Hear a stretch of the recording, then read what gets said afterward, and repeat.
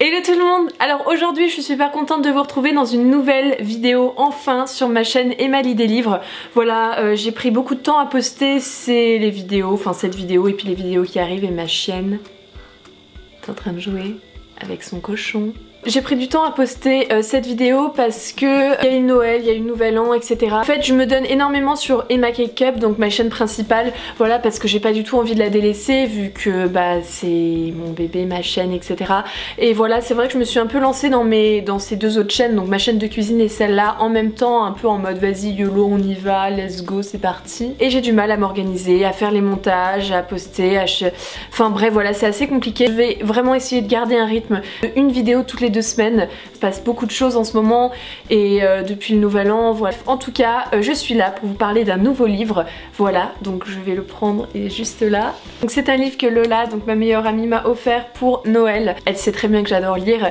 Et donc ce livre s'appelle Demain est un autre jour de Laurie Nelson Spillman. Voilà, c'est un bouquin vraiment bien. Quand on lit ce livre, on est heureux, on se sent bien, on est, on est reboosté, on a notre énergie. Euh, voilà, on a envie de vivre nos rêves, de vivre la vie, de de voilà et de pas rester dans notre vie euh, toute, toute banale, normale, en faisant des petites choses et tout ça. C'est vraiment un livre qui nous booste, je trouve. Donc franchement, merci Lola de m'avoir offert ce livre et à sa sœur aussi, Floriane Empatogas. Donc bref, c'est parti, je vais vous faire un petit résumé du livre.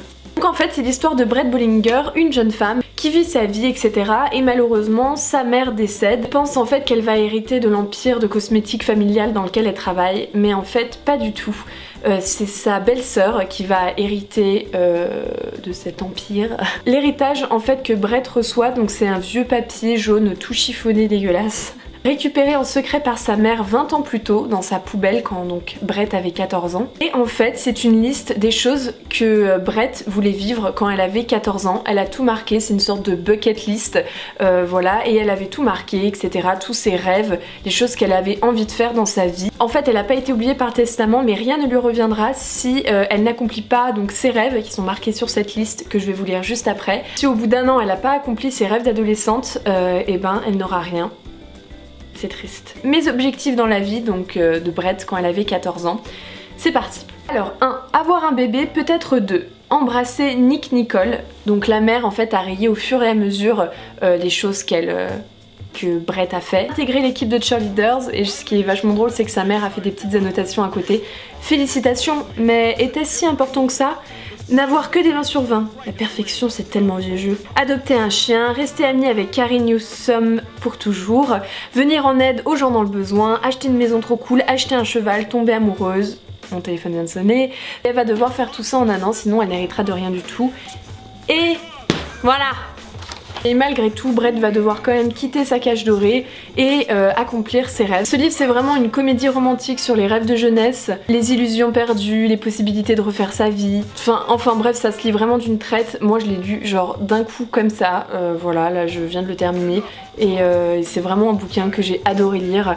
c'est très agréable et on reprend, euh, enfin ça nous donne vraiment un coup de pied au cul, je trouve. En tout cas, à chaque vœu réalisé, elle doit retourner voir l'avocat qui s'occupe bah, du testament de sa mère. Un jour, elle va le voir et elle lui dit bah vous pouvez rayer euh, tomber amoureuse car c'est déjà fait, je suis avec Andrew, donc son copain du moment.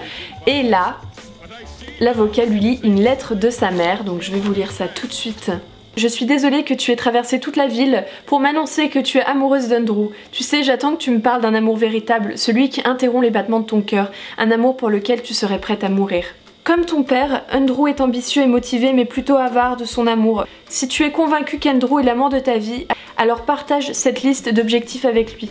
S'il est prêt à t'aider à les atteindre, j'aurais sous-estimé ton amour et le sien, et tu pourras considérer que cet objectif est accompli. Et reviens quand tu auras trouvé l'amour, ma chérie, ça en vaut la peine. Bref, je vais m'arrêter là parce que bah, sinon je vais vous raconter tout le roman et c'est un peu nul. Mais en tout cas, c'est vraiment un roman super optimiste. Ça fait vraiment réfléchir sur les vraies priorités de la vie. Et voilà, cette vidéo est terminée. J'espère vraiment qu'elle vous a plu. Je vous fais plein d'énormes bisous. Et je vous dis à dans deux semaines. Salut